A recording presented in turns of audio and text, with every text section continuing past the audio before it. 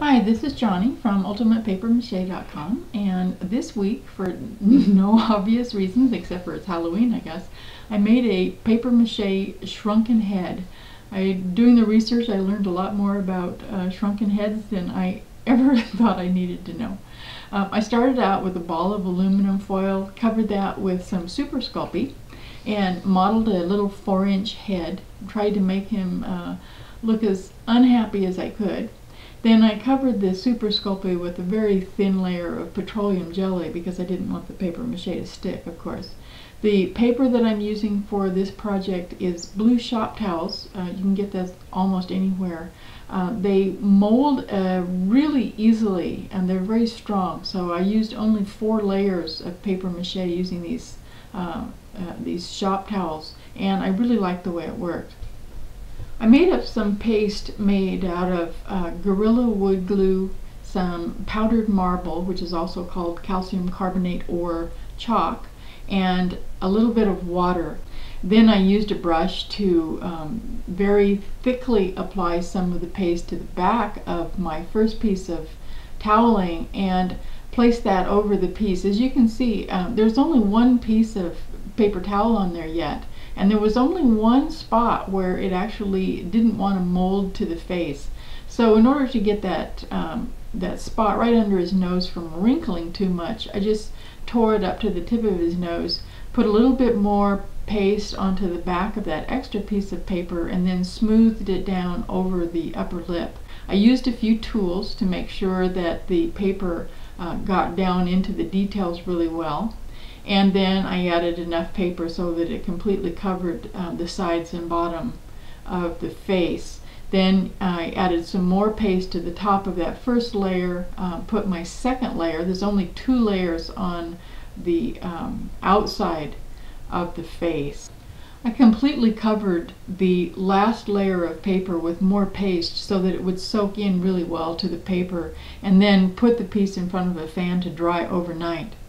As soon as it was hard enough so that I could take out uh, the aluminum foil and the um, the Super Sculpey, I went ahead and did that. That happened in the morning. It was still a little bit damp on the inside though, so I put it back in front of the fan to dry for a few more hours. And then I took some scissors and cut away the extra paper along the edges. Then I added two more layers of paper mache on the inside to make sure that it was strong enough. As soon as the inside layers were applied, I put them back in front of the fan, let that dry really well, and then took a very sharp pointed tool and made the holes for the uh, where the twine is going to be sewing his eyelids and his lips together. Just kind of the gruesome part, but you know, has to be done. Um, then I blew up a tiny little uh, balloon just big enough so that it would fit inside there and I put four more layers of paper mache just around the bottom. Um, these, um, the, the real uh, shrunken heads were actually made into bags that held um, uh, rocks and sand for some reason. So there's no neck of course. Um, and I, I left that large opening because I needed to be able to get in there and fiddle with the strings that were going to be sewing his eyelids and his lips together. So that went back in front of the fan. As soon as the uh, paper mache was strong enough, of course, I pulled out that, um, that balloon.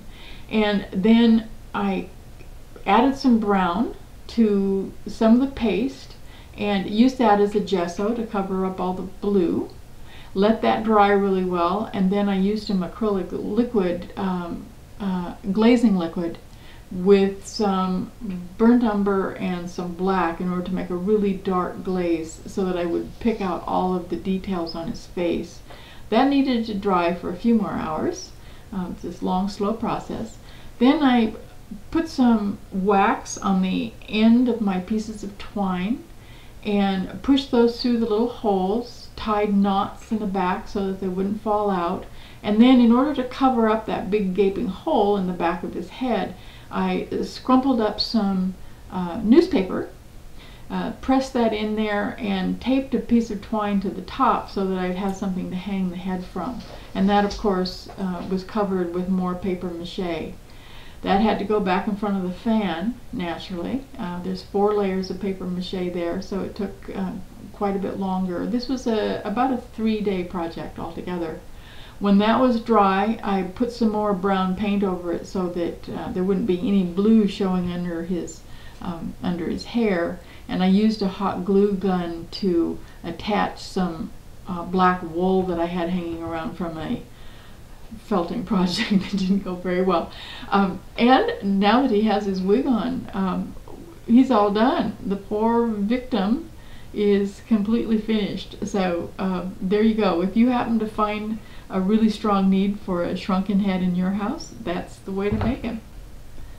Thanks for watching. Be sure to come over and visit us for some more tutorials at ultimatepapermache.com. See you later. Bye-bye.